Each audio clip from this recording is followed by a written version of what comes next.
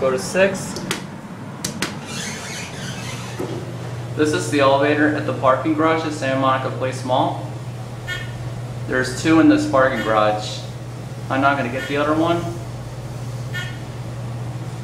But the other parking garage has only one elevator. So I'm definitely not gonna get that one. You're at six? Let's ring the bell. Oh, come on, really?